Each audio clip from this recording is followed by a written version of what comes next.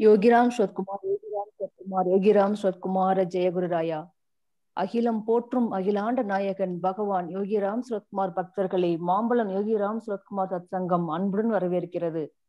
இன்று நம் பகவானுடைய மகிமைகளை பற்றி பேசுவதற்கு வருகை தந்துள்ள பெரும் மரியாதைக்குரிய உயர்திரு ஸ்ரீ ரவிச்சந்திரன் அவர்களை மாம்பழம் யோகிராம் சுரத்குமார் சத்சங்கம் அன்புடன் வரவேற்கிறது. திரு ரவிச்சந்திரன் அவர்கள் கடலூர் மாவட்டம் பன்ருட்டி தாலுகா கோழிப்பாக்கம் என்கிற அழகிய சிற்றூரை சேர்ந்தவர். கடலூரில் பள்ளி படிப்பை முடித்த பின் சென்னை சட்டக் கல்லூரியில் சட்டம் பயின்றவர். பிறகு கடலூரில் வழக்கறிஞராக பணியாற்றியவர். எண்பத்தி இரண்டு எண்பத்தி இரண்டாம் ஆண்டிலிருந்து பகவானின் தரிசனம் கிடைக்கப்பெற்ற பாக்கியம் பெற்றவர். சன்னை தெரு இல்லத்தில் பகவானிடம் பூரண ஆசீர்வாதம் கிடைக்க பெற்றவர் பாண்டிச்சேரியில் தொண்ணூத்தி நான்காம் ஆண்டு Yogiram Suratkumar pharmaceuticals distribution company பகவானின் ஆசீர்வாதத்தோடு இவரால் துவங்கப்பட்டு அன்று முதல் இன்று வரை மிகச் சிறப்பாக நடைபெற்று கொண்டு வருகிறது.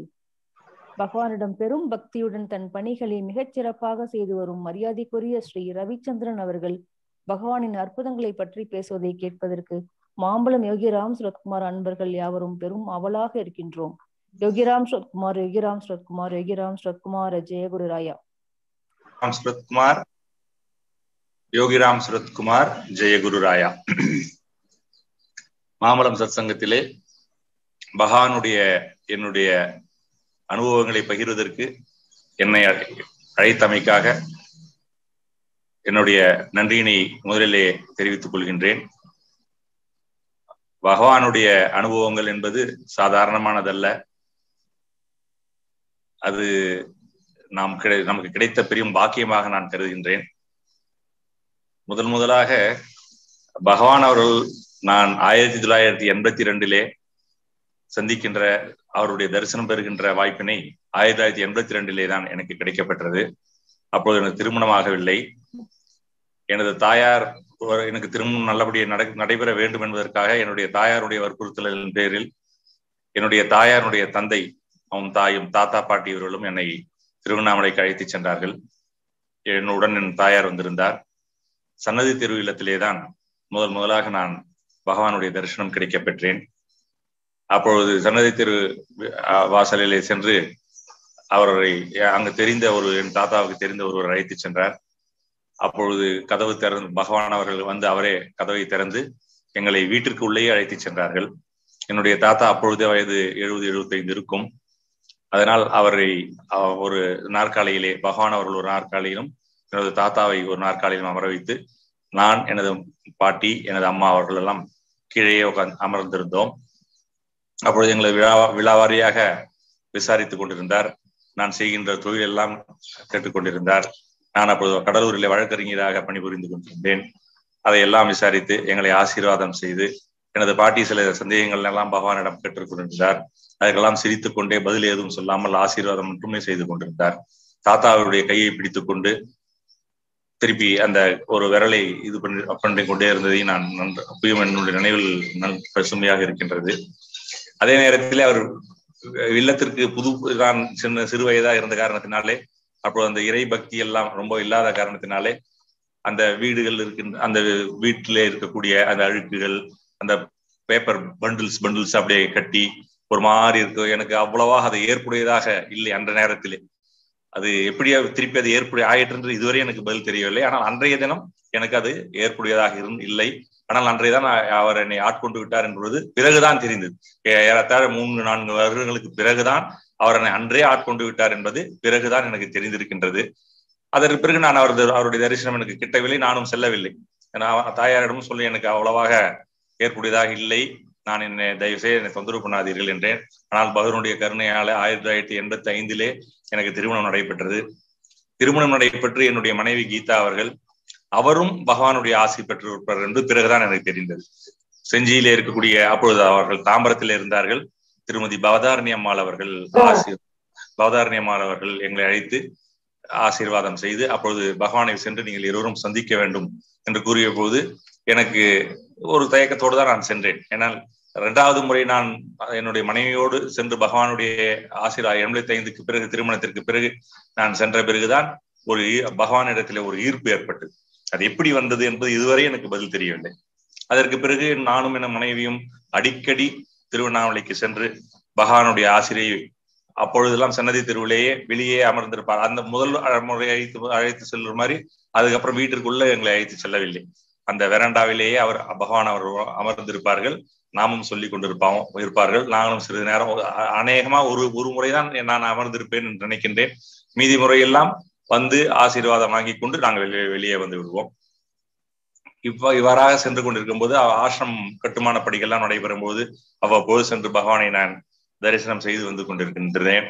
ஆயிரத்தி தொள்ளாயிரத்தி அறுபத்தி எண்பத்தி ஐந்துக்கு பிறகு அடிக்கடி ஆறு மாதத்திற்கு ஒரு முறையாவது நாங்கள் கடலூர்ல இருந்து திருவண்ணாமலைக்கு பயணப்பட்டு பகவானுடைய ஆசையோடு எனக்கு ஒரு மகனும் ஒரு மகளும் பிறந்தார்கள். அதில் அவர்களும் இன்று இன்றைய தினம் என்னை விட என்னுடைய மகன் பகவானிடம் அவ்வளவு ஈர்ப்போடு எதுவா இருந்தாலும் பகவான் செயல் பகவான் செய்தால் சொன்னால்தான் செய்ய வேண்டும் பகவான் உத்தரவு கொடுத்தால்தான் செய்ய வேண்டும் என்று அவர் இருந்து கொண்டிருக்கின்றார். அவர் கடல் சென்னையிலே doctor Reddy's lab Macleods labs போன்ற கம்பெனிகளுக்கு சிஎன்டா செய்து கொண்டிருக்கின்றார். எது எது நடப்பதாக இருந்தாலும் ஆசிரமத்துக்கு சென்று பகவானுடைய பாதார விந்தங்களிலே அவர் நமஸ்காரம் செய்து அவர் ஆசியோடு அவர் உத்தரவு கொடுத்த பிறகுதான் அது நிறைவேற்றுவார். இதுவரை என் மகளும் அவ்வாறே. என்னுடைய திருமணத்திற்கு பிறகு ஆயிரத்தி தொள்ளாயிரத்தி தொண்ணூத்தி நான்கு ஆயிரத்தி தொள்ளாயிரத்தி எண்பத்தி நான்குலாம் நாங்கள் ஒரு கடலூரில் ஆர்காட் ஏஜென்சிஸ் என்ற பார்ட்னர்ஷிப் கூட்டு வியாபாரத்துல மருந்து டிஸ்ட்ரிபியூஷன் செய்து கொண்டிருந்தோம்.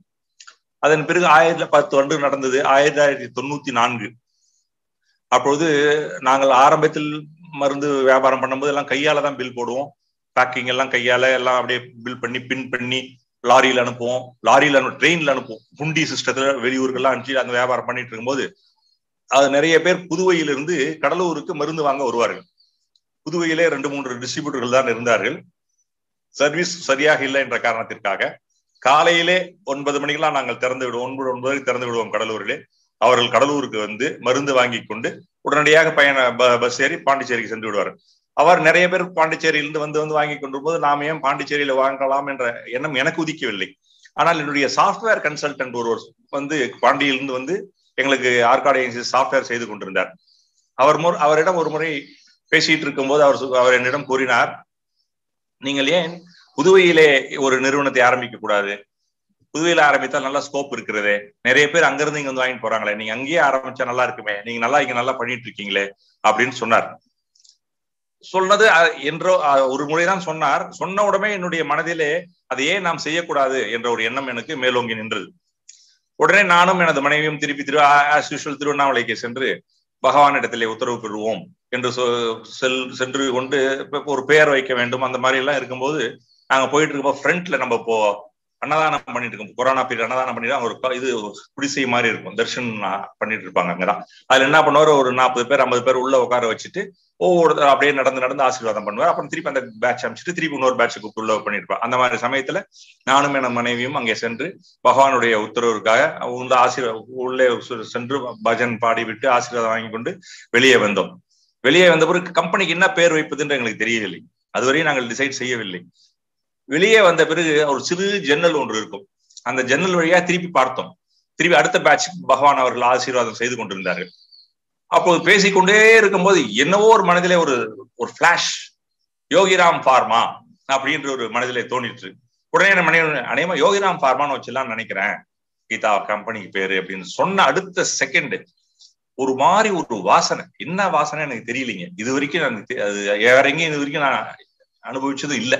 ஒரு மாதிரி ஒரு வாசனை வந்து அந்த ஜன்னல் வழியா இருந்து வெளியே வந்தது. உடனே அது ஒரு பாசிட்டிவ் சைன் வேற இந்த சைனா எனக்கு தோணுச்சு. அதுக்கப்புறம் நாங்க வந்து யோகிராம் பார்மான்ற அந்த கம்பெனிக்கு பேர் வச்சுட்டு பேர் வச்சு திருப்பி கடலூருக்கு வந்து அவர் சாஃப்ட்வேர் கன்சல்டன் சரி சார் நாங்க ஆரம்பிச்சிடுறோம் யோகிராம் பார்மான்னு சொல்லிட்டு ஆரம்பிச்சிடறோம் சொல்லிட்டு அவர் சாஃப்ட்வேர் எல்லாம் இது பண்ணிட்டு இருந்தாரு. ஆயிரத்தி தொள்ளாயிரத்தி தொண்ணூத்தி நாலு அக்டோபர் மாதம் பதினாலாம் தேதி விஜயதசமி அன்றுதான் ஆரம்பிப்பதாக நாள் குறித்து கொண்டிருந்து வைத்திருந்தோம். யோகி கடையின் பெயர் யோகிராம் பார்மா. ஒரே ஒரு கம்பெனி வின்மெடிகேர் என்ற கம்பெனி மட்டும்தான் எங்களுக்கு அப்போது டிஸ்ட்ரிபியூஷன் கொடுத்தாரு. ஏன்னா பாண்டிச்சேரியில் அப்போது பல பெரிய டிஸ்ட்ரிபியூட்டர்ல இருந்து அவர்களை விரோதித்து கொண்டு எங்களால் ஒன்றும் பண்ண முடியல. கடலூரில் இருந்த காரணத்தினாலே இந்த அளவுக்கு ட்ரக் லைசன்ஸ் வாங்கி வாங்கி நாளைய தினம் விஜயதசமிக்கு நாளைய தினம் வாங்க போகிறோம் என்றால் ஒரு நாளுக்கு முன்பு தான் ட்ரக் லைசன்ஸ் வந்தது. அந்த ட்ரக் லைசன்ஸிலே ட்ரக் லைசன்ஸை சென்னையிலே தெரியப்படுத்தி விண்மெடி கேரளே அப்ப சாத்தே என்று ஒருவர் இருந்தார். அவர் உடனடியாக எங்களுக்கு இன்வாய்ஸ் செய்து என்னுடைய மாமனார் மாமியார் எல்லாம் அப்போது சென்னையிலே வசித்த காரணத்தினால் அந்த காரிலேயே அவர் அந்த மருந்தையும் வைத்து விட்டார்கள் அவர்கள் எடுத்து வந்தார்கள். அதே நேரத்தில் சாஃப்ட்வேர்ல வந்து நம்ம ட்ரக் லைசன்ஸ் போடணும்.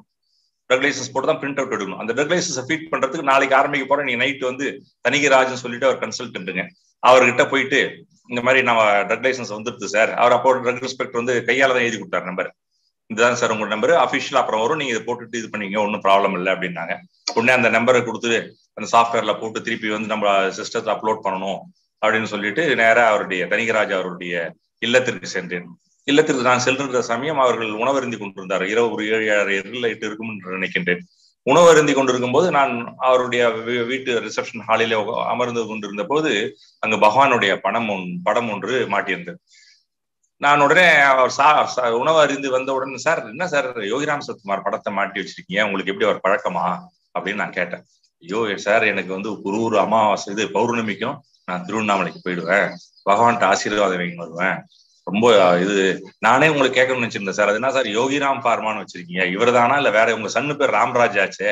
அந்த பேரு நினைச்சிட்டு இருந்தேன் நானு. ஆனா யோகிராம் பார்மா நீங்க எப்படி சார் வச்சீங்க? அப்படின்னா இல்லைங்க எனக்கும் தெரியல. இந்த மாதிரி யோகிராம் பார்மா அப்படின்னு பகவான் தான் எனக்கு பேர் வச்சு கொடுத்த மாதிரி நான் நினைக்கிறேன் இது வரைக்கும் அப்படின்னு சொல்லி அவர்கிட்ட பேசிட்டு இருக்கும்போது அப்பதான் எனக்கு தோணுச்சு. இது யோகிராம் பார்மான்னு ஆரம்பிக்கணும்னு சொன்னதே வந்து பகவான் தான் பகவான் தான் அவருடைய டிஓடி மூலியமா அந்த மெசேஜ் எனக்கு கன்வே பண்ணி அதை அக்செப்ட் பண்ண வச்சு திருப்பி வந்து நான் வந்து அந்த பேரை வச்சு கரெக்டா விஜயதசமி அன்னைக்கு முத நாள் தான் ஆனா தனிகராஜ் எங்களுக்கு வந்து கிட்டத்தட்ட இரண்டு மூன்று வருடமாக பழக்கம். அவர் வந்து யோகிராம் சரத்குமார் ஆசிரமத்திற்கோ யோகிராம் சரத்குமாரை தரிசனம் செய்கிறார் என்றோ எனக்கு தெரியாது.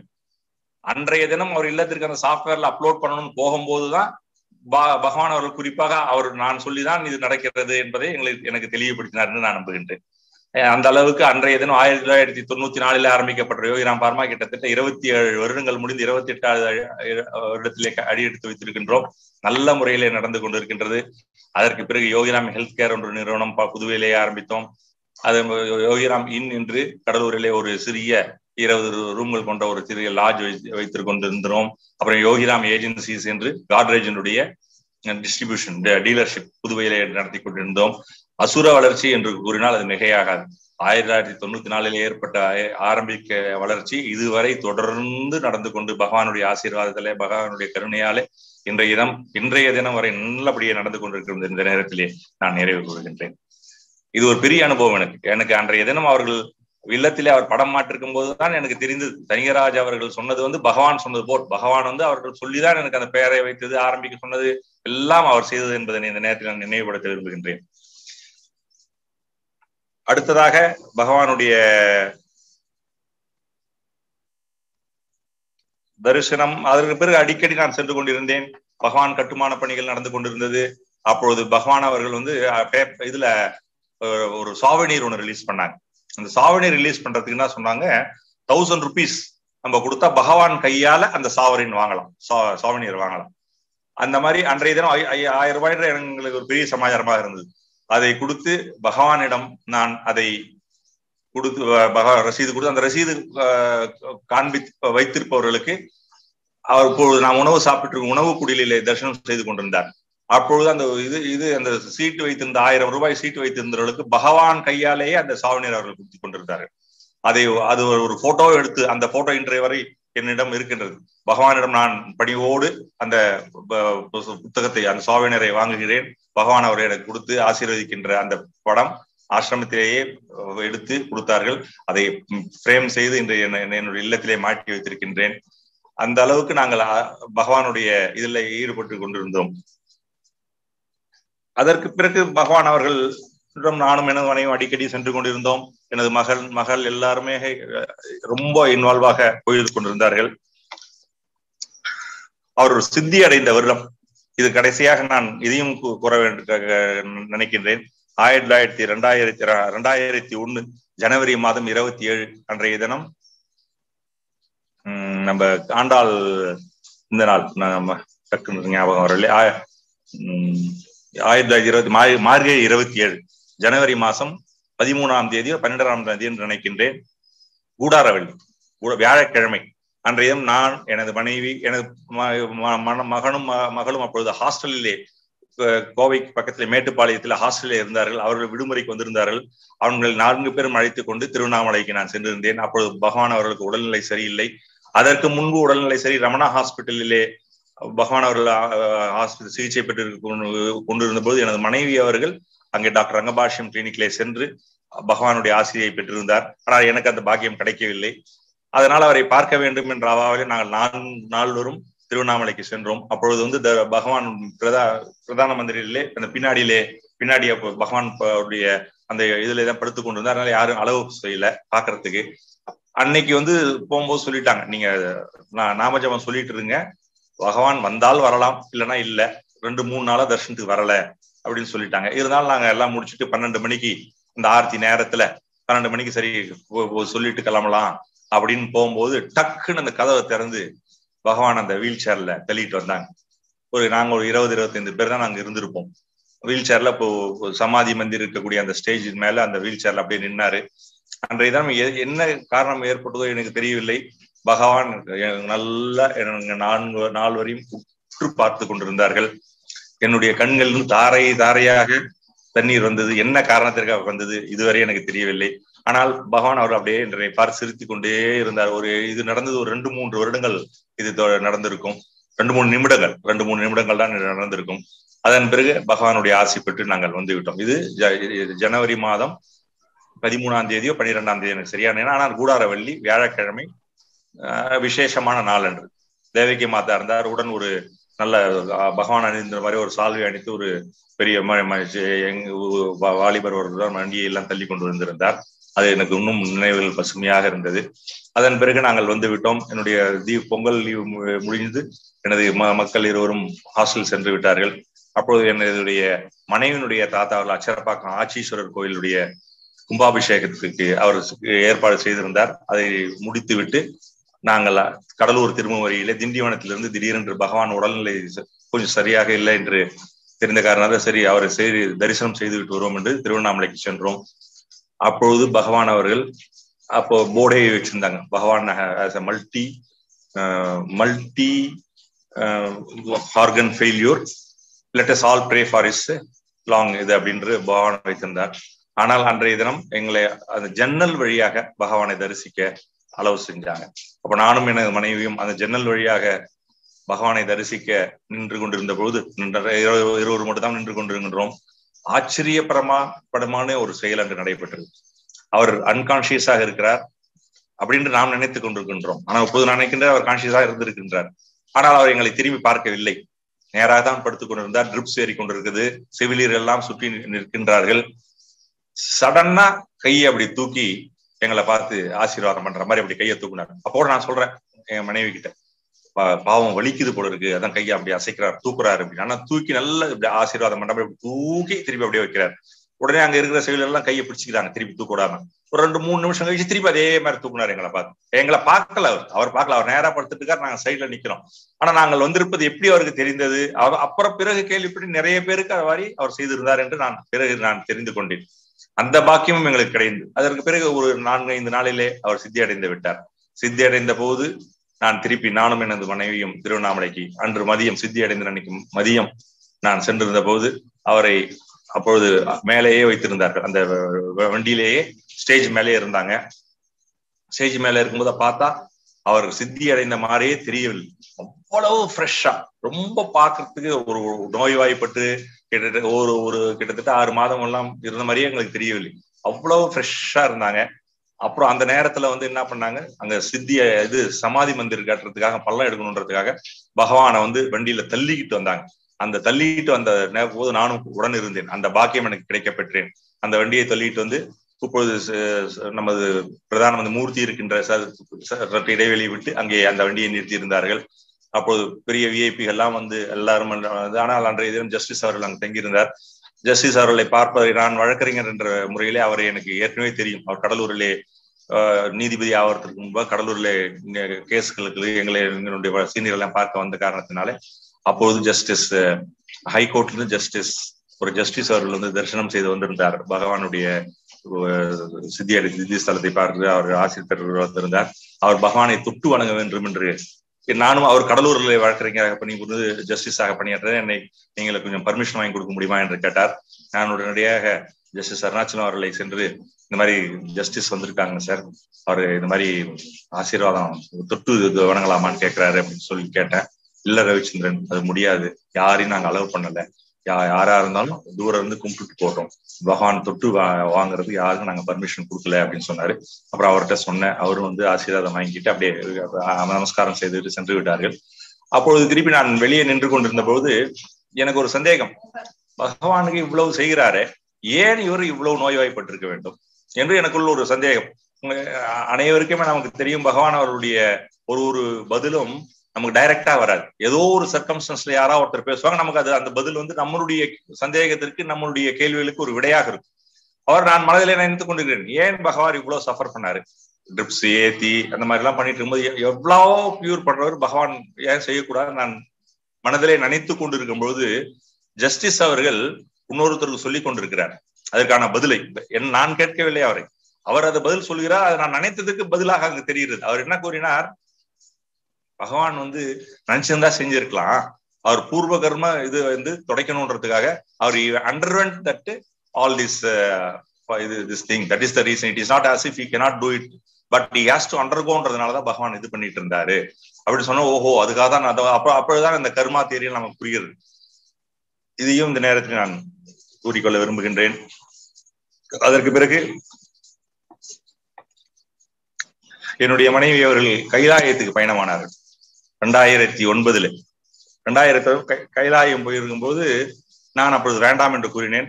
ஆனால் அவர்கள் போய் தான் வர வேண்டும் என்று கைலாயத்துக்கு கிளம்பி சென்றார்கள். எப்பொழுதுமே எதுவாக இருந்தாலும் ஆசிரமத்திலே சென்று பர்மிஷன் இல்லது ஒரு கேள்வி ஒரு சமர்ப்பித்து விட்டு தான் செல்வார்கள். அதற்கு பிறகு தேவகி மாதாவிடமும் அடிக்கடி நாங்கள் சென்று பேசுவோம் ஆசீர்வாதம் வாங்கிட்டு வருவோம். ஆனால் இந்த விஷயம் தேவகி மாதாவிடம் அவர் சொல்லவில்லை. நானும் சொல்லவில்லை நான் வேண்டாம் என்ற காரணத்தில் நானும் அங்கு கூட செல்லவில்லை. அவர்களும் இந்த ஆசிரமத்திற்கு சொல்லவில்லை. ஆனால் பயணப்பட்டு விட்டார்கள் கைலாயத்தில். கைலாயத்தில் சென்று தரிசனம் முடித்து விட்டு நேபாளத்திற்கு வந்து விட்டார். காட்மண்டுவுக்கு வந்து விட்டார். காட்மண்டுவிற்கு வந்து எனக்கு போன் செய்கிறார். நான் கைலாய தரிசனம் முடித்து விட்டேன். நான் திரும்பி விட்டேன். இன்னும் இரண்டு நாள் மறுநாள் வந்து முக்திநாத் செல்கிறேன். முக்கின் முக்திநாத் சென்று விட்டு உடனடியே நான் சென்னை வந்து விடுவேன். வீட்டிலே செர்வன் மெய்ட் அன்று சனிக்கிழமை அன்னைக்கு வருவதாக அவருடைய பயணம். சனிக்கிழமை மதியானம் ரெண்டு மணிக்கெல்லாம் நீங்கள் வர சொல்லி விடுங்கள் சரண் மேடை வந்து வீடு கிளீன் செய்ய வேண்டும். இந்த இருபது இருபத்தி நாள் ஆயிருக்கு. என்று கூறி சரி நான் சொல்லி விடுகிறேன் என்று சொல்லிவிட்டு அன்றைய தினம் அவர் பேசி முடித்து முத நாள் பேசுகிறார். மறுநாள் காலை நான் காலை பீச்சுக்கு வாக்கிங் சென்று விட்டு கடலூர் பீச்சிலே வாக்கிங் சென்று விட்டு வீடு திரும்பி கொண்டு இல்லம் திரும்பி வரும்போது வரும்போது லாட்ஜ் யோகிராம் நின்று இருந்து அங்க நின்று பேசி கொண்டிருக்கும் போது அப்போது ஃபோன் வந்தது லாட்ஜ் போனுக்கு போன் வந்தது. இந்த மாதிரி அவங்க சொன்னாங்க இந்த மாதிரி காட்மண்டு வந்து ஃபோன் வந்தது சார் உங்ககிட்ட பேசணும்னு சொன்னாங்க அப்படின்னாங்க. இந்த நம்பர் கொடுத்தாங்க அப்படின்னு சொன்னாங்க. உடனே அங்கிருந்து நான் இன்டர்நேஷனல் கால் அப்பொழுது பேசுகிறேன். பேசும்போது அவர்கள் சொல்கிறார்கள் கூறினார்கள் இந்த மாதிரி உங்க மனைவி இங்க நியூரோ ஹாஸ்பிட்டல் அட்மிட் செய்திருக்கின்றார்கள். கொஞ்சம் சீரியஸாக இருக்கிறது. ஒரு சர்ஜரி செய்ய வேண்டும். அதனால் நீங்கள் உடனே கிளம்பி வருமாறு கேட்டுக்கொள்கிறேன் என்று அங்க காட்மண்டுவிலிருந்து எனக்கு தகவல் தெரிவித்தார்கள். உடன் என்னுடைய எனக்கு தெரிந்த நபர்கள் இருந்தால் அவர்கள் அந்த நம்பரை கொடுத்து சொல்லி கூறினார். ஹாஸ்பிட்டலிருந்து பேசினார்கள். நான் என்ன விஷயம் என்று தெரியாமல் திருப்பி டாக்டரை தொடர்பு கொள்ளலாம் என்று நம்பர் எனக்கு லைன் கிடைக்கவில்லை. உன்னை திருச்சியிலே என்னுடைய சின்ன மாமனார் அவர்கள் டாக்டர் பாஸ்கர் என்று இருந்தார் அவருடன் தொடர்பு இந்த மாதிரி கூறுகிறார்கள். நீங்கள் உடனடியாக காட்மண்டு அந்த ஹாஸ்பிட்டலுக்கு போன் பண்ணி டாக்டரிடம் பேசி என்ன என்று எனக்கு தெரியப்படுத்த வேண்டும் என்று கேட்டேன். உடனே அவரும் உடனடியாக காட்மண்டுவிற்கு போன் பண்ணி கூடியவுடன் என்ன அவர் வேற எதுவும் சொல்லவில்லை. திருப்பி கூப்பிட்டு நீ உடனடியாக கிளம்பி போய்விடு என்று கூறினார். அப்பொழுது நீ உடனே காட்மண்டு கிளம்பி போது திரு சின்ன சர்ஜரி செய்ய வேண்டும். அந்த சர்ஜரிக்கு நான் ஓகே சொல்லிவிட்டேன். ஏன்னா நீ போய்கிற வரைக்கும் அவங்க வெயிட் பண்ண முடியாத சர்ஜரி அதனால நான் சொல்லிட்டேன் நீ போய் உடனே பார்த்து நீ உடனே கிளம்பி போ அப்படின்னு சொன்னாங்க. அந்த நேரத்துல அப்போ நிறைய பேர் வந்து அந்த காட்மண்டுல போகும்போது நிறைய பேர் ஈடுபட்டு இருந்ததுனால ட்விட்டர் அந்த இது அப்பெல்லாம் என்னமோ அந்த அக்கௌண்ட்ல எல்லாம் வெளியே தெரிஞ்சிருந்தது. அப்போ டாக்டர் அரவிந்த் ஹை ஹாஸ்பிட்டலுடைய டாக்டர் ரவீந்திரன் அவர்கள் வந்து புதுவையிலே சீஃப் மெடிக்கல் ஆஃபீஸரா இருந்தார். அவர் எங்க குடும்பத்திற்கு அவருடைய மகன் என்னுடைய மகன் எல்லாம் மகள் எல்லாம் மேட்டுப்பாளையத்துல படிக்கும் ஒன்றாக படித்து எங்களை நன்றாக தெரியும். அவர்களுக்கு என்னுடைய மனைவி கீதா அவர்கள் காட்மண்டு சென்றிருந்த விஷயம் தெரியும்.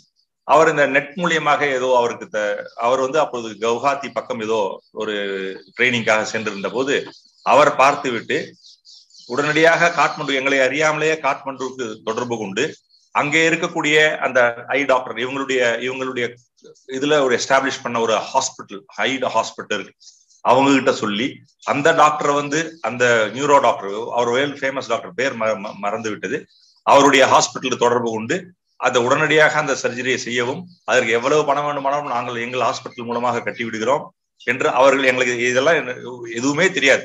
எல்லாமே பகவானுடைய ஆசையில் அப்படியே நடந்து விட்டது. நான் காட்மண்டு செல்ற வரை செல்கின்ற வரை எனக்கு வந்து டாக்டர் ரவீந்திரன் அவர்கள் அங்க தொடர்பு கொண்டு இதெல்லாம் செய்து கொண்டிருக்கின்ற விஷயம் எனக்கு தெரியாது. நான் மறுநாள் காலை தான் நான் அன்று இரவே டெல்லி சென்று டெல்லிக்கு செல்வதற்கு முன்பு அன்றைய தினம் புதுவையினுடைய மாண்புமிகு முதலமைச்சர் திரு வைத்திலிங்கம் அவர்களை தொடர்பு கொண்டு அங்க காட்மண்டுவில் ஏதாவது அப்பொழுது என்னுடைய டாக்டருக்கு வந்து பாஸ்போர்ட் கிடையாது. She has not attained eighteen years Aadhaar கார்டும் கிடையாது. எலெக்ஷன் கார்டும் கிடையாது. அப்போ ஆதார் கார்டு எலெக்ஷன் ஐடி தான். எலெக்ஷன் அப்போ வந்து என்னன்னா எலெக்ஷன் ஐடி இல்லைன்னா பாஸ்போர்ட் இருந்தா நம்ம நேபாள் போக முடியும். எலெக்ஷன் ஐடியும் கிடையாது. இதுவும் கிடையாது. அதனால அவங்கள கூப்பிட்டு போக முடியல. நானும் என்னுடைய சன் அப்ப வந்து ஒரு மாசம் ஆயுது பாம்பே ஐஐபியும் வேலையை சேர்ந்து விட்டார் அவர் மும்பையில இருந்து டெல்லி வந்து விட்டார். நான் சென்னையிலிருந்து டெல்லி சென்று அன்றிரவு புதுவை கெஸ்ட் ஹவுஸ்ல தங்கிவிட்டு மறுநாள் காலை காட்மண்டு காட்மண்டு சென்று விட்டோம். அப்போது என்னுடைய மகள் வருவகைக்காக ஏற்பாடு செய்து கொண்டிருக்கும் போது உடனடியாக என்னுடைய உறவினர் இ. எம். சுப்பிரமணியம் ரெட்டியார் என்று அவர் ஒருத்தர் இருந்தார். அவர் பழைய ஆயிரத்தி தொள்ளாயிரத்தி அறுபத்தி ஏழு சட்டமன்ற உறுப்பினராக இருந்தார். உயர் திரு மூப்பனார் அவர்களுக்கு மிகவும் வேண்டியவர். அவர் வாசன். அப்பொழுது மத்திய அமைச்சராக இருந்தார். வாசனிடம் தொடர்பு கொண்டு என்னுடைய மகள் மகளை அனுப்புவதற்கு ஏற்பாடு செய்யும்படி கேட்டார். அப்போது அவர்கள் என்ன சொல்லி கூறினார்கள்? அனுப்புவதற்கு இல்லை. ஏன்னா சனி ஞாயிறு ஒன்றும் செய்து எல்லா எம்பசியும் க்ளோஸ்டு உங்களுக்கு திங்கட்கிழமை என்று நாங்கள் பர்மிஷன் கொடுத்து நாங்கள் அனுப்பி வைக்கின்றோம். நீங்கள் நீங்கள் இருவரும் முதல் பயணப்படுங்கள் என்று கூறிவிட்டார். நாங்கள் காட்மண்டு கிளம்பி சென்று அங்கு வெளியே வரும்போது என் பெயரை போயிட்டு ஒரு பலகை வரவேற்பு பலகையில் ரவிச்சந்திரன் அப்படின்னு போய் பேர் போட்டு ஒருத்தர் வெயிட் பண்ணாரு. அவங்க கேட்டாங்க ஆமா சார் நீ யாரு? அப்படின்னா நாங்க வந்து அரவிந்த் ஐ ஹாஸ்பிட்டல் சொல்லி அமிச்சாங்க. உங்களை ரிசீவ் உங்களுக்கு இந்த மாதிரி உங்க ஒய்ஃப் அங்க ஹாஸ்பிட்டல் இருக்காங்க. உங்களுக்கு எல்லா அரேஞ்ச்மெண்ட்ஸும் பண்ண சொல்லியிருக்காங்க. கார் அரேஞ்ச்மெண்ட் டாக்டர் ரவீந்திரன் எல்லாம் அரேஞ்ச் பண்ண சொல்லியிருக்காரு. இதை எல்லாம் எனக்கு ஒண்ணுமே தெரியாது. டாக்டர் எதுவுமே சொல்லலை எங்ககிட்ட. நாங்க அங்க போகும்போது எல்லாம் ரெடியா இருக்கு. இதெல்லாம் எப்படி நடந்திருக்கும்னு நீங்க நினைச்சு பாருங்க. அதுவும் நமக்கு தெரியாத வெளிநாட்டுல ஆனா பகவானுக்கு தான் இது எல்லாம் ஏற்பாடு பண்ணியிருக்கான்றது எனக்கு இன்னி வரையும் நம்பிக்கை. ஏன் ஏன் பகவான் தான் ஏற்பாடு பண்ணியிருக்காருன்னு சொல்றேன்னா அப்ப நடந்தது எல்லாம் ரொம்ப சுவாரஸ்யமா இருக்கும். ரொம்ப இன்ட்ரெஸ்டிங்கா இருக்கும். போயிட்டு நாங்க எல்லா அரேஞ்ச்மெண்ட் செஞ்சிருந்தாங்க. அப்பொழுது ஐநூறு ரூபாய் நோட்டு வைத்திருந்தால் அங்க குற்றம் என்று அது கூட எங்களுக்கு தெரியாது. காட்மண்டுவுக்கு ஐநூறு ரூபாய் நோட்டு எடுத்துட்டு போனால் அதுக்கு தவறு என்ற விஷயமே எங்களுக்கு தெரியாது. அப்பொழுது அங்க அங்க இருக்கக்கூடிய தமிழ் வாசிகள் தமிழ் அதுவும் இந்த ட்விட்டர்ல பார்த்து அவர்கள் எல்லாம் வந்து இருந்து அதிலே ஒருத்தர் என்னுடைய டாக்டர் பாஸ்கர் அவர்களுக்கு பேசி கொண்டிருக்கும் போது திருச்சியிலிருந்து டாக்டர் பாஸ்கர் கூட ஏதோ பேச்சு அவர் வந்து அவருடைய ஷட்டில் விளையாடுறவர் அப்படின்னு சொல்லிட்டு ஜிஎஸ் கிளாஸ்கோ கன்சியூமர் அவருடைய ஹெட் நேபாள் ஹெட்டா இருந்தார் அவர். அவர் தான் சொன்னார் ஐநூறு ரூபாய் கொடுத்துருங்க எங்ககிட்ட நீங்க வச்சு கூடாது வச்சிருந்தா உங்களை இம்ப்ரெசன் பண்ணிடுவாங்க. இங்க எல்லாம் பேன் பண்ணிட்டாங்க. அப்படின்னு அந்த பணத்தெல்லாம் வாங்கி அதுக்கு பதில் அவங்க எல்லாம் கரன்சி எல்லாம் கொடுத்து எல்லா விதமான உதவியும் செய்து கொண்டிருந்தார்கள். அப்போது நாங்கள் அடிக்கடி கிட்டத்தட்ட நாங்கள் போகும்போதெல்லாம் என்னுடைய மனைவி அன்கான்சியஸ் கோமா ஸ்டேஜில் இருந்தார்கள். ஆனால் சர்ஜரி செய்து விட்டார்கள். சர்ஜரி செய்து ஐசியூல இருக்கும்போது சென்று பார்க்க தான் முடிந்தது. ஆனால் அவர் நினைவு இல்லை. ஆனால் ஒரு ஒரு முறையும் நாங்கள் அந்த பன்னிரெண்டு மணிக்கு ஆர்த்தி எடுக்கும்போது என்னுடைய ஸ்டாஃப் யாரையாவது அனுப்பிச்சு தேவகி மாதாவிடம் இந்த மாதிரி நிலைமையை சொல்லி கொண்டிருப்போம். அவரும் நீங்கள் ஒன்றும் பயப்படாதீர்கள். எல்லா எங்கெல்லாம் சிக்னல்ஸ் நல்லா தான் இருக்கு. ஒன்றும் சரியா போயிடும் சரியா போயிடும் சொல்லிட்டே இருந்தாங்க. ஒரு ட்ரிப்பு டாக்டர் வந்து என்ன சொல்றாரு? கிட்டத்தட்ட அவங்களுக்கு வந்து she's more or less dead அதாவது என்ன ஃபெயிலியர் பிரெயின் டெட் அப்படின்னு சொன்னார். பிரெயின் டெட் ஆயிடுது. இன்னும் சான்சஸ் அதிகமே இல்லை. She is living only with support of ventilator அப்படின்னாங்க. அது ஒரு ஷாக் அடிச்ச மாதிரி இருந்தாலும் ஏன்னா அன்றைய தினம் நாங்கள் உட்காந்து அந்த ரிசல்ட் சொல்றது டாக்டர் வந்து சொல்றதுக்கு ஒரு பத்து நிமிடம் முன்பு நான் எனது மகள் எனது மகன் என்னுடைய தம்பி என மகள் வந்து விட்டாள். மறுநாள் அந்த டாக்டர் வாசன் அவர்கள் கூறிய புதுவை உங்களுடைய முதல்வர் அவர்கள் கூறிய உடனே உடனே எம்பசியிலே ஒரு நேபாள் எம்பசி லெட்டர் கொடுத்து வாங்கி கொண்டு அவர்கள் வந்து விட்டார்கள். வந்து நாங்கள் அங்கே அமர்ந்து கொண்டிருக்கும் பொழுது அப்பொழுது வந்து டாக்டர் அவர்கள் கூறுகிறார்கள் இது மாதிரி பிரெயின் இது என்னுடைய மைத்துனரும் வந்திருந்தார் அவர் அவரும் சென்னையிலிருந்து வந்து விட்டார். அப்படி கூறிட்டு இருக்கும்போது நான் எனக்கு அவர் அன்று கூறும்போது என்னால் ஏற்க முடியவில்லை. ஏற்க முடியும் உடனடியாக பன்னிரெண்டு மணிக்கு நான் தரிசனத்திற்கு ஆனால் அன்று டாக்டர் சொல்லுகிறார் இப்போது நான் வெண்டிலேட்டர் ஆஃப் செய்தாலும் இன்னும் இரண்டு நாட்கள் இருப்பார்கள். வெண்டிலேட்டர்லே இருந்தால் ஏழு எட்டு நாட்களோடு இருப்பதற்கு வாய்ப்பு இருக்கிறது அப்படி என்று கூறினார்கள். நான் நான் வெண்டிலேட்டர் ஆஃப் செய்யலாமா வேண்டாமா என்று சொல்லவில்லை. சரி நான் பகவா அம்மையா இந்த தேவகி மாதாவிடம் கேட்டு விட்டு செய்யலாம் என்று பகவ தேவகி மாதாவிடம் இந்த மாதிரி சொல்கிறார்கள்மா ஆனா எனக்கு நம்பிக்கை ஏனென்றால் அன்றைய தினம் நாங்கள் அங்கே நேபாளத்திலே உட்கார்ந்து காட்மண்டுவிலே உட்கார்ந்து அந்த நாமம் சொல்லி கொண்டிருந்த போது ஒரு பட்டாம்பூச்சி எங்கள் மூவரையும் நாங்கள் லாபம் சொல்லிக் கொண்டிருக்கிறோம். எங்கள் மூவரையும் மூன்று முறை நான்கு முறை சுற்றி. அதே போன்று அந்த ஆஸ்பத்திரியும் நான்கு ஐந்து முறை வளம் வளம் வந்து அங்கிருந்து பார்க்கும்போது எனது மனைவியை படுத்திருந்த அந்த ஐசியு பெட்டினுடைய ஜன்னல் அந்த க்ளோஸ்டு ஜன்னல்ல அங்க போய் உட்காந்துட்டு திருப்பி பில்டிங்கை சுத்தி திருப்பி எங்களை சுத்திட்டு இருக்கும்போது சரி பகவான் நம்மளை சரி பண்ணிடுவாரு அப்படின்ற நம்பிக்கையில அம்மா கிட்ட சொல்றேன் இந்த மாதிரி எல்லாம் நடக்குதுமா? பட்டாம்பூச்சி பக்கத்துல பகவான் பன்னெண்டு மணிக்கு பன்னெண்டு ஆர்த்தி முடிஞ்ச உடனே அவங்க கிட்ட போன்ல பேசுறேன் நான். அவங்க ஜென்ரலாக ஃபோன் பேச மாட்டாங்க. அன்னைக்கு என்னுடைய ஸ்டாஃப் போய் அவங்ககிட்ட ஃபோனை கொடுத்து இந்த மாதிரி சார் பேசணுன்றாங்க. உங்ககிட்ட இன்னும் சொல்லணுமா? அவங்க கீதாவை பத்தி சொல்லணுமா? அப்படின்னு சொன்ன உடனே நான் இந்த விஷயத்தெல்லாம் சொல்றேன். இந்த மாதிரிமா டாக்டர் சொன்னாரு. ஆனா எனக்கு அதுல நம்பிக்கை இல்லை. ஏன்னா பகவான் வந்தாரு இன்னைக்கு. எங்களை எல்லாம் சுத்தி வந்தாரு. ஆஸ்பத்திரி சுத்தி வந்தாரு. திருப்பி அந்த வெண்டிலே ஜன்னல்ல உட்கார்ந்து இருந்தாரு திருப்பி எங்களை சுத்தி வந்தாரு. திருப்பி அப்ப இமயமலையை நோக்கி அங்க அப்ப இமயமலை தெரியும். அங்க இருந்து அந்த ஆஸ்பத்திரி தெரியும். அதை நோக்கி பறந்து விட்டாங்க அப்படின்னு சொல்றேன். அதனால என் நம்பிக்கை இருக்குமா? ஒண்ணும் ஆகாதுன்னு நான் சொல்றேன். இத்தனை நாள் வந்து அம்மையார் அவர்கள் வந்து தேவகி மாதா வந்து சரியா போயிடும் ஒன்னும் பயப்பட அப்பெல்லாம் பயந்துட்டு இருந்தப்போ அம்மா அப்படி சொன்னாங்க. நாங்க சரியா போயிடுமா? இந்த மாதிரி பகவான் வந்துட்டு போயிட்டார். நான் சொல்றப்போ பகவான் நீங்க ரவிச்சந்திரன் நீங்க தைரியமா இருக்கணும். இந்த நேரத்துல எதுவும் நீங்க கலங்கக்கூடாது. பகவான் வந்து அவங்களுக்கு வேண்டியவர்களை ஒரு ஒரு சில நேரத்திலே வந்து அவர்களுடைய அழைத்து செல்வதற்காக வந்திருக்கிறார் என்று நான் நினைக்கின்றேன். அவர்கள் வந்துதான் அழைத்து சென்றிருக்கின்றார்கள். தைரியமாக இருங்கள். எது நடந்தாலும் நல்லதுதான். நல்லது எது நடந்தாலும் ஏதோ ஒரு காரணத்திற்காக தான் நடந்து நடக்க போகின்றது. அதனால் நீங்க பயப்படாதீர்கள். தைரியமாக இருங்கள். எது நடந்தாலும் பார்த்துக் கொள்ளலாம். பகவான் இருக்கிறார் நமக்கு என்று கூறினார்கள். அப்போது எனக்கு ஏற்படவில்லை. ஏற்புடையதாக இல்லை. பகவான் அம்மையார் சொன்னதும் தேவகி மாதா அவர் சொன்னதும் எனக்கு ஏற்புடையதாக இல்லை. என்ன சரியா பகவான் எப்படி வந்துட்டு போறாரு? நம்மளெல்லாம் சுத்திட்டு வராரு. ஐசியூ அந்த வண்டிலேட்டர் உட்காராரு ஆஸ்பத்திரியில சுத்துறாரு. அப்புறம் அப்படி போறாருன்னா something is going to happen நல்லபடியா நடக்கும் தான் நான் நினைச்சிட்டு இருந்தேன். இது நடந்தது பன்னிரெண்டு பன்னெண்டரை ஒரு மணிக்குள் இருக்கும். ஒரு ஒன்னே முக்கால் மணிக்கு டாக்டர்ஸ் வந்து கூப்பிடுறாங்க. என் சன்னையும் நீங்க ஐயா போய் பார்த்துட்டு வாங்க அப்படின்றாங்க. எனக்கு இன்னும் ஒரு இதுல நான் போகல நான் வரல அப்படின்னு சொல்லிட்டேன். உன்னைய சன்னும் என்னுடைய மைத்துனர் விஸ்வநாதன் அவர்களும் நிறைய ஐசியூ சென்ற போது அவர் உயிர் பிரிந்திருந்தது. அம்மையார் சொல்லி அவர் டாக்டர்கள் சொல்லினார் வெண்டிலேட்டர் ஆஃப் செய்தாலும் இரண்டு மூன்று நாட்கள் தள்ளும்.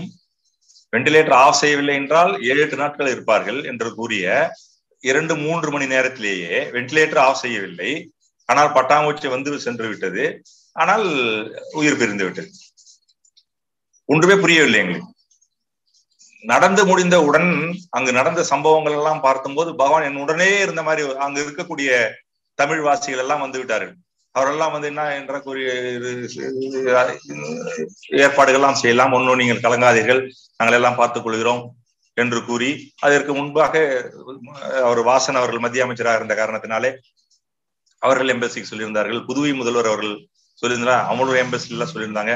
எம்பசில இருந்து எல்லாம் அபிஷியல்ஸ் எல்லாம் வந்திருந்து அனைத்து விதமான ஏற்பாடுகளும் செய்து மறுநாளேயே அங்க எம்ப்ளாம் பண்ணி பாடி நான் எங்க ஊருக்கு போகணும்னு சொல்லிட்டோம். கிராமத்துல என்னுடைய கோழிப்பாக்கம் கிராமத்துக்கு பண்டுட்டி கிட்ட வரணும்னு சொன்ன உடனே எல்லா ஏற்பாடும் பண்ணி உடனடியாக மறுநாள் மதியம் எல்லாம் நாங்கள் அன்றைய தினம் நேபாளத்திலே வந்து அதையெல்லாம் இது பண்ணி போலீஸ் எஸ்கார்ட் கொடுத்து எங்களை ஏர்போர்ட்டுக்கு அனுப்பிச்சு இதில் அதாவது மனிதனால் செய்ய முடியாத காரியங்கள் எல்லாம் அன்று நடைபெற்று ஒரு அந்நிய தேசத்தில் நம் தேசத்திலே இதெல்லாம் நடக்குமா என்று எனக்கு தெரியவில்லை.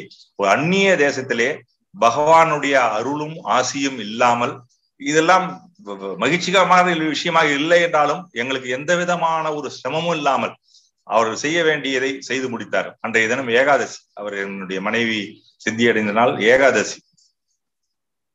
உடனடியாக மறுநாள் ஏகாதசி மரணம் துவாதசி தகனம் என்பது போல் தகனத்திற்கு நாங்கள் எங்கள் கிராமத்திற்கே வந்து சேர்ந்து விட்டோம் டெல்லியிலே ஏர் ஏர்ல ஏர் பிளைன் இறங்குறதுக்கு லேட் ஆச்சு உடனடியாக எங்களுக்கு அடுத்த கனெக்டிங் ஃபிளைட் அங்க வந்து நிறுத்தி என்ன காரணத்துக்காக நிறுத்தினா நிறுத்தி வச்சுட்டு அங்க வந்து ஒரு ஆபீசர் வந்து எங்களை ஏர்போர்ட்ல இறக்கி எங்க மனைவியினுடைய உடலை மட்டும் ஒரு தனியா ஒரு ட்ராலியில இருக்கக்கூடிய அந்த பிளைட்ல ஏத்தி எங்களை ஏர்போர்ட் இன்டர்நேஷனல் ஏர்போர்ட் வந்து நேஷனல் ஏர்போர்ட்டுக்கு உடனே அங்கேயே அங்க இதுலயே ஒரு கார்ல கூப்பிட்டு போய் எங்களை அதே பிளைட்ல ஏத்தி இரவோடு இரவாக நாங்கள் சென்னை வந்து சென்னையிலே வரும்போது இன்டர்நேஷனல் லக்கேஜ்ன்றது என்னமோ சீல்ஸ் பாஸ்போர்ட் சார்ந்த செயல் என்னென்னோ சொல்லார்கள் ஆனால் உடனடியாக எல்லா ப்ராப்ளமும் ரொம்ப சாதாரணமா நடந்து முடிஞ்சது எல்லாம். எந்த எங்களுக்கு எதுவுமே தெரியாது. எல்லாம் பகவானுடைய இதால் நடந்து முடிஞ்சது. மறுநாள் துவாதசி தகனமும் நடைபெற்றது. அன்றைய தினம் சனிக்கிழமை சனி பிரதோஷம் சரியாக பிரதோஷ நேரத்திலே அவருடைய என்னுடைய மனைவியினுடைய உடல் தகனம் செய்யப்பட்டது. அதன் பிறகு தேவகி மாதா அவர்களை சந்தித்து இதெல்லாம் கூறினோம். எல்லாம் பகவான் நான் சொல்லியிருக்கேன் தைரியமா இருங்கள். எல்லாபடியாக நடக்கும். பகவான் எல்லாத்தையும் பார்த்து பார்த்து கொண்டிருக்கின்றார். இது மகிழ்ச்சிக்குரிய விஷயம் இல்லை என்றாலும் ஏதோ ஒரு காரணத்திற்காக நமக்கு தெரியாத காரணத்தை நடந்திருக்கின்றது. அதை நாம் ஏற்றுக்கொள்ளதான் வேண்டும். இதை நாம் ஆசீர்வாதமா தான் ஏற்றுக்கொள்ள வேண்டும் என்று கூறி அன்றிலிருந்து இன்று வரை நாங்கள் அதை அப்படிதான் ஏற்றுக்கொள்கின்ற இருக்கின்றோம். அது மட்டுமல்ல அதற்கு பிறகு என்னுடைய மகள் திருமணமாகட்டும் என்னுடைய மகன் திருமணமாகட்டும் எல்லாமே பகவானுடைய உத்தரவின் பேரில் தான் ஜாதகம் எல்லாம் பார்த்தார்கள். இருந்தாலும் பகவான் உத்தரவு கிடைத்த பிறகுதான் நான் அதை நடத்திய வேண்டும் என்று கூறி எடுத்துட்டு போய் பகவானுடைய பாதத்திலே ஆரோஸ்கோப்பெல்லாம் வச்சு அவர் எங்களுக்கு ரைட் சிக்னல்ஸ் கொடுப்பார். ஒரு சிக்னல் வந்து ஆச்சரியப்படும் மாதிரியா ஒரு சிக்னல் கொடுத்தார் என்னுடைய மகளுடைய திருமணத்திற்கு. பா பாதத்திலே ஜாதகம் இருக்கின்றது. அப்பொழுது விசேஷம் என்ன விசேஷம் என்று ஞாபகம் இல்லை அன்னைக்கு வெள்ளிக்கவசம் சாத்தியிருந்தார்கள் மூர்த்திக்கு. மூர்த்திக்கு வள்ளிக்கவசம் சாத்து மேலையெல்லாம் மாலையெல்லாம் போட்டிருந்தாங்க.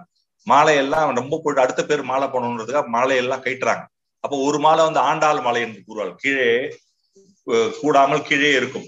அந்த மாலையை கைட்ட முடியவில்லை.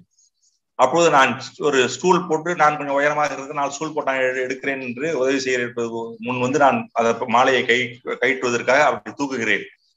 தூக்கும்போது என்ன நடந்தது என்று தெரியவில்லை. பகவானுடைய உயர்ந்த அந்த கரத்தை லேசாக வளைப்பது போல் எனக்கு தெரிந்தது. இப்படி ஆசிரியர் இப்படி இப்படி பண்றாரு. ஒண்ணுமே புரியல. ஸ்டாச்சுல இருக்கிற கை வந்து இப்படி இதாகுது. கீழே இருக்கவங்களாம் கவச கையெழுது கவலச கை கையெழுது அப்படின்றாங்க.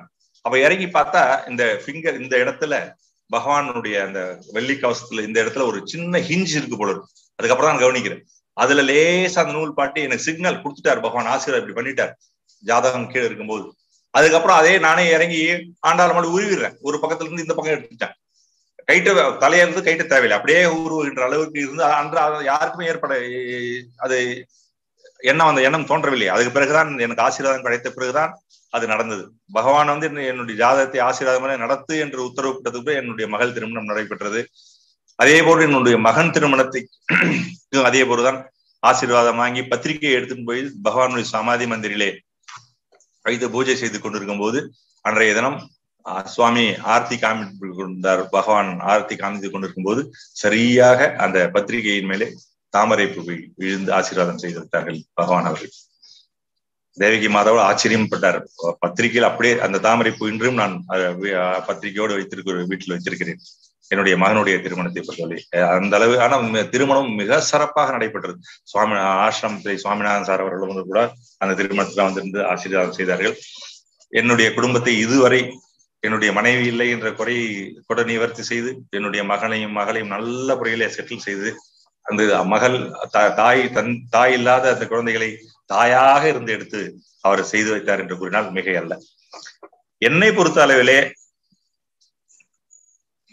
போன நவம்பர் மாதம் அதிசயத்தக்க ஒரு இது என்று கூட கூறலாம். அன்றைய தினம் எங்கள் மாவட்டத்திலே புயல் அடித்தது. நவம்பர் மாதம் இருபத்தி ஆறாம் தேதி என்று நான் நினைவு நினைவுகின்றேன். அன்றைய தினம் நான் ஆசிரமத்திற்கு அன்றைய தினம் கொரோனா டைம் ஆசிரமத்துக்கு நம்ம சொல்லிடணும். நான் இன்னைக்கு வரோம். சாப்பாடு பிரசாதத்துக்கு நான் நான்கு பேர் வரோம் என்று சொல்லிவிட்டு இருந்தால் நான் அன்று இரவு புயல் மறுநாள் காலை செல்ல முடியவில்லை. காலை போன் இரவே குமரன் சார் அவர்களுக்கு ட்ரஸ்டி குமரன் சார் அவர்களுக்கு போன் சார் நாங்க வரல சார். காத்தடிக்குது. கரண்ட் இருக்காது. காலையில ஏஞ்சி வர முடியாது சொல்லிட்டோம். சரி பாத்துக்கலாம் அப்படின்னாரு. காலையில ஏழு மணிக்கு இரவு கரண்ட் நின்று விட்டது வீட்டு. கிராமத்துல கரண்ட் நின்று உங்களுக்கு எல்லாம் தெரியும் கிராமங்கள் எல்லாம் கரண்ட் நின்றுச்சுன்னா ரெண்டு நாள் மூணு நாள் ஆகும் இந்த மாதிரி புயல் சமயத்துல. ஆனால் அன்றைய தினம் புயல் அடி அதிகமாக அடிக்க வேண்டும் அடிக்கும் என்று எதிர்பார்த்தோம். ஆனால் அடிக்கவில்லை. ஆனால் கரண்ட் எல்லாம் நிறுத்தி விட்டார்கள். காலையில ஆறு மணிக்கு எழுந்து பார்த்தா கரண்ட் இல்ல. ஆனா அமைதியா இருந்தது. சரி எப்படி செல்வது? பயங்கர குளிர்.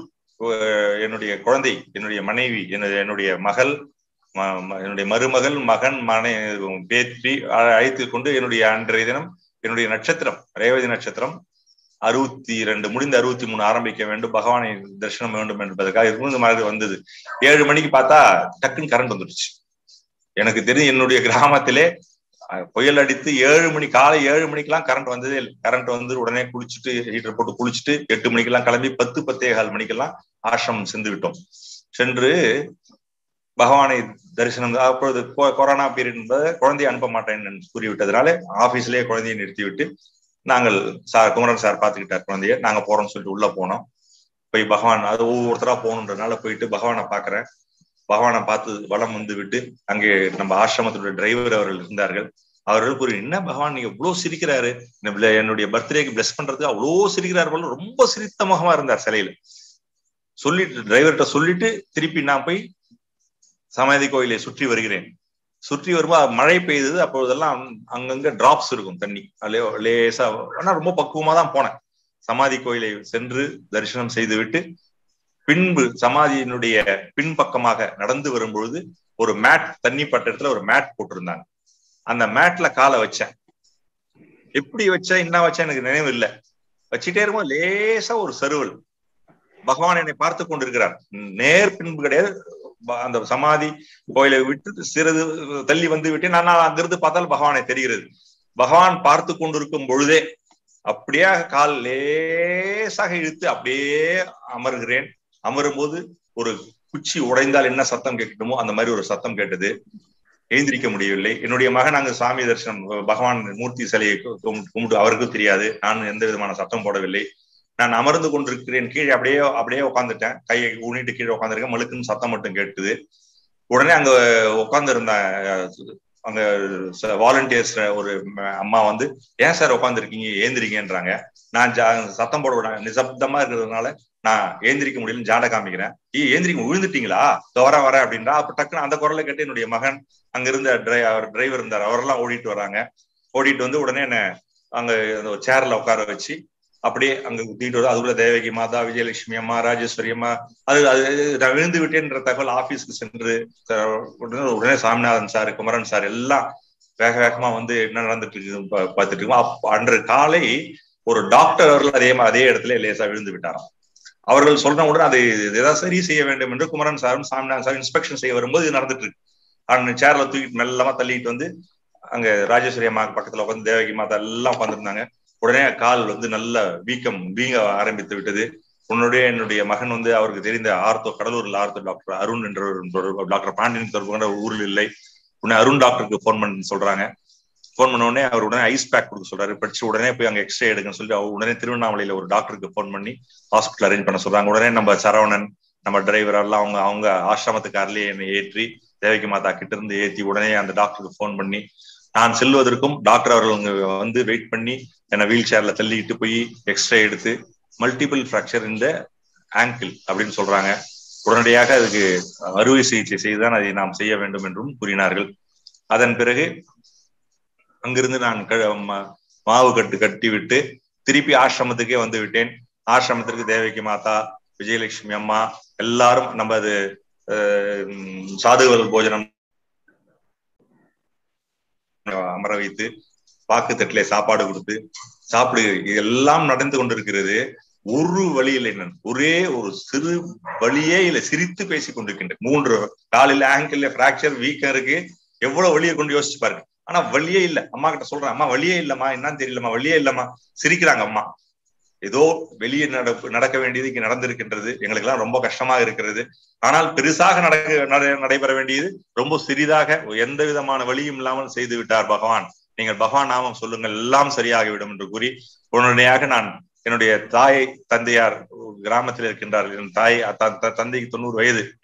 அவர் திடீர் நேரா நேரா சென்னை சென்று விட்டால் என்ன செய்வது? அவர் ஷாக் ஆயிடுவாருன்னு சொல்லிட்டு கிராமத்திற்கு வந்து படுத்திருந்து படுத்திருந்து மறுநாள் காலை கிளம்பி அது வரை வழி இல்லை.